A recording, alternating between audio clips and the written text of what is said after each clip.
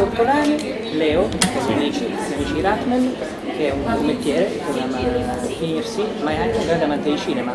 Infatti siamo qui per parlare di cinema, esattamente cinema, il buio in sala, in cui Leo ha, fatto, ha raccolto tutte le varie recensioni che ha pubblicato sul suo blog e finalmente per tutti noi amanti del cinema di Leo Ortolani l'abbiamo potuto leggere in cartaceo. Allora, la prima domanda che mi viene è il cinema e il fumetto sono due mezzi di comunicazione che lavorano per immagine e quindi eh, c'è chi definisce il cinema come un fumetto in movimento e chi definisce il fumetto un cinema bloccato. Tu di due, queste definizioni cosa ne pensi? Allora, riprendiamo la pallottoliamo del destino perché il cinema è una cosa e il fumetto un'altra. Inutile cioè, allora il cinema sono libri che però ti fanno vedere cosa succede, cioè, oppure sono quadri che si muovono, oppure è musica che però c'erano anche le figure, non, non, ha molto senso secondo me mettere, cercare di trovare delle cose a contatto. Ovviamente si racconta storia, l'unica cosa che hanno di contatto è il fatto che si racconta storia e basta. In più adesso il cinema, soprattutto per quanto riguarda il cinema di un certo tipo, quello un po' da blockbuster, sta attingendo moltissimo al fumetto, per cui il fumetto sostanzialmente è eh, caverna di Alibaba per, nuovi, per i nuovi produttori di, di cinema. Però si parla in questo caso di produttori americani, le major, certo. sì.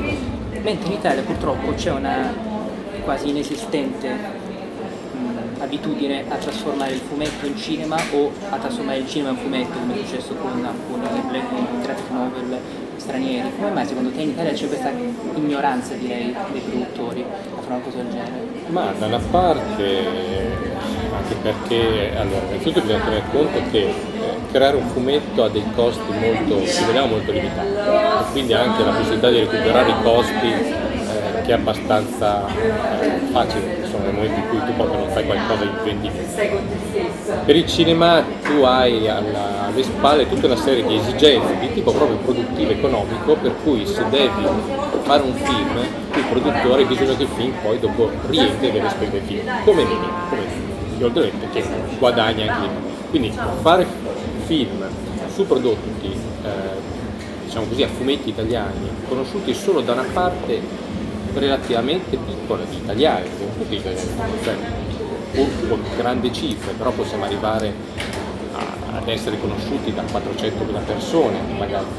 Adesso non sto parlando di, eh, di, essere conosciuti perché tu sai che esiste Alberto, faccio dire, tu sai che esiste Topolino, però lo leggi, no, però sai che esiste. Non è la stessa cosa. Allora, tu devi portare la gente al cinema preferisci puntare su storie inedite, eh, su storie che abbiano quello che secondo i produttori è un AP giusto per portare la gente al cinema e quindi io devo dire dal mio punto di vista personale, ma meglio così, nel senso che comunque ci sono delle storie nuove, ecco, non ci sono storie magari prese dal fumetto, rimasticate male come succede a volte con gli americani, poi portate al cinema, perché tu sai già che comunque offri una, un personaggio molto forte, conosciuto in tutto il mondo, che tirerà su pubblico da tutte le parti, quindi rientrerai molto velocemente delle, delle, spese e non solo, arriverai anche a fare degli incassi immensi. Quella è la ragione per cui in Italia non si, fa, non si fanno film da, tratti da fumetti, quindi, secondariamente anche perché mancherebbero probabilmente anche per determinati fumetti le capacità tecnologiche, cioè nel senso che se bisogna fare un film di, di supereroi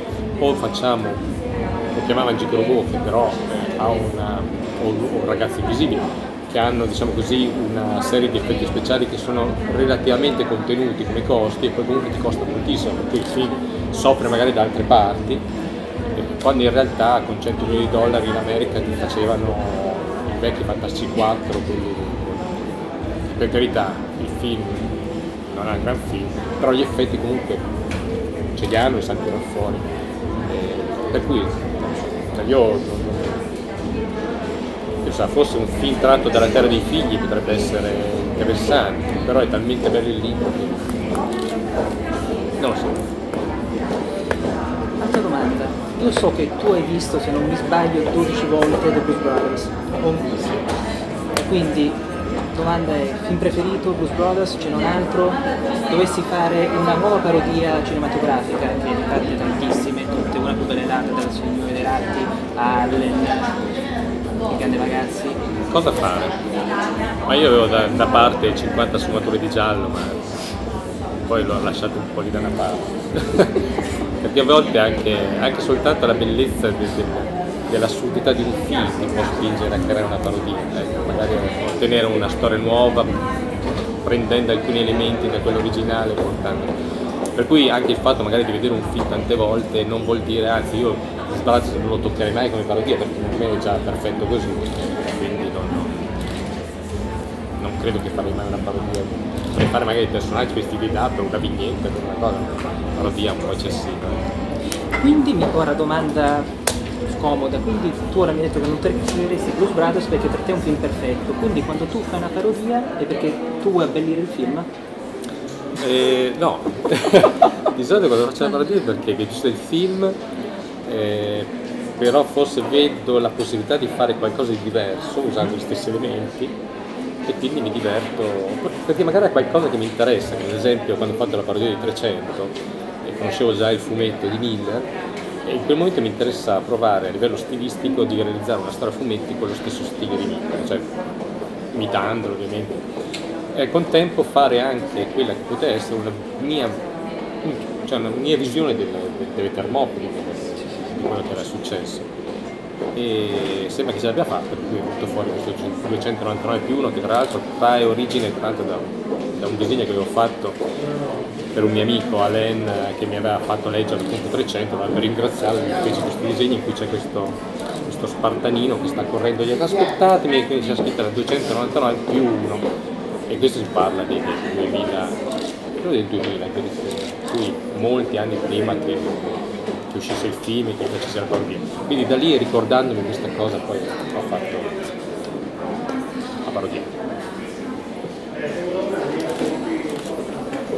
Una domanda altra che mi viene in mente è come hai avuto il contatto con la BAO, ti hanno contattato loro per fare questo elenco di parodie o sei stato tu a convincerli a pubblicatemi? Ma guarda, allora, con, con Bao, a parte che con Michele Foschini si conosce da vent'anni, per insomma conosco tutte le sue, le sue vicende eh, professionali precedenti, insomma sempre stato veramente in gamba. E, e, quando è nata la BAO mi ricordo che mi chiese, guarda, se hai dei progetti magari a volte che interessa portare da noi, possiamo farlo volentieri. E questa cosa si è concretizzata poi 5, 5 anni dopo pensato che in effetti come casa editrice per portare un prodotto in libreria fossero assolutamente la, la numero uno e quindi mi sono rivolta a loro, cosa stata, diciamo che è andata in porto molto, molto tranquillamente. Io proprio un'ultimissima domanda. Tra queste che tu hai scritto, tra tutte le parodie che tu sono qua dentro, sì. qual è la tua preferita? La mia preferita? Ma non so. Perché ogni, ognuna di loro poi nasce da un momento particolare. Cioè se ti dicessi l'ultima, quella di Olmi, ti torneranno, torneranno i prati, potrebbe essere, potrebbe essere quella. Però c'è anche tutta l'attesa per i nuovi film Guerre Stellari, insomma, che ha fatto che ha generato trailer, teaser, teaser trailer, film e a chiusura proprio torneranno i prati stellari, poi chiamati prati stellari perché li vedi. Sì, sì. Ma è stato un caso che l'abbia visto dopo, dopo, dopo quello e quindi il vero significato della guerra salta fuori da queste cose qua quando io mi fa molto ridere che la Disney insomma, sostanzialmente stia vendendo la guerra ai bambini, cioè è guerre stellari, è divertimento, quindi la guerra è divertente bambini. Giocate, sparate ai cattivi che tanto hanno il casco, non si vedono, quindi non si vedranno le smorfie, non saprai mai che, che aveva del sangue. Sì, no, ma sono vecchie gag di quelli che anche come in, con Astin Powers che c'erano i cattivi che, che festeggiano. ma non viene? È quello che diceva telefonata, ragazzi è morto, cioè, per cui quello che la gente speciale uccide con tanta leggerezza in effetti ha una vita, una famiglia, famiglia l'aspetta. E, adesso vabbè, pensiamoci un attimo, prima di fare delle guerre stellari, cioè a me va bene che le guerre stellari siano un fenomeno cinematografico successo, che insomma intrattengono, così come i film di guerra hanno sempre fatto per tanti anni, però quello di, di declinarlo in Rebels, declinarlo in cartoni animati, in cose dei ragazzini ha qualcosa di sottile non ci sono pistole, ci sono spade laser, vabbè, non però non lo so, mi lascia un po' perplesso, sempre guerrero, però non si vede mai quando muoiono. appuntamento Disney. Io direi che abbiamo finito qui. Grazie Leo per il tempo che ci hai concesso. Grazie a voi. Ciao Taxi Drivers.